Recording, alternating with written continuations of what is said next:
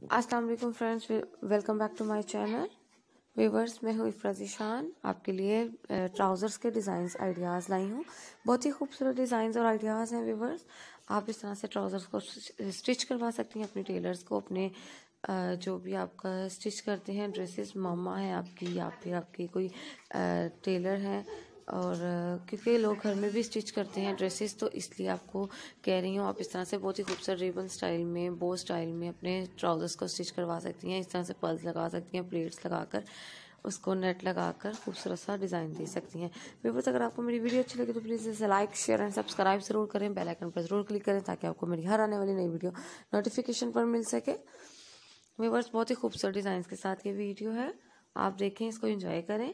आप देख सकते हैं इस तरह से दरमियान में मगजियों के साथ बॉटम पर नेट के साथ और टसल्स वाली लेस लगाकर भी आप इसको डेकोरेट कर सकते हैं। अपने ट्राउज़र्स को इस तरह से जाल स्टाइल भी बनवा सकते हैं।